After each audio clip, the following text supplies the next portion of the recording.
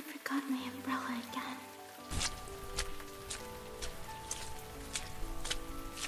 Hmm. Here. Oh. You shouldn't stand outside in the rain like this. You'll catch a cold. Thank you, Felix. I guess he really is kind. Well, take it. Felix. I can't believe I forgot my umbrella. I mean, I didn't think it was gonna rain because it was so sunny out, and they did say that it was gonna be sunny all week long, and it just came out of nowhere. I can't believe it, but aren't you going to need an umbrella? I mean, what am I talking about? Your limo's right there. I'm so sorry about this. Well, if you're not gonna take it, then I guess I have nothing to worry about. You know, since idiots don't get sick. oh, uh, no, I'll take it. Thank you.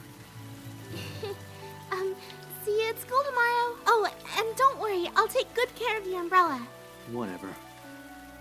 I guess under that tough guy mask, Felix is actually really sweet.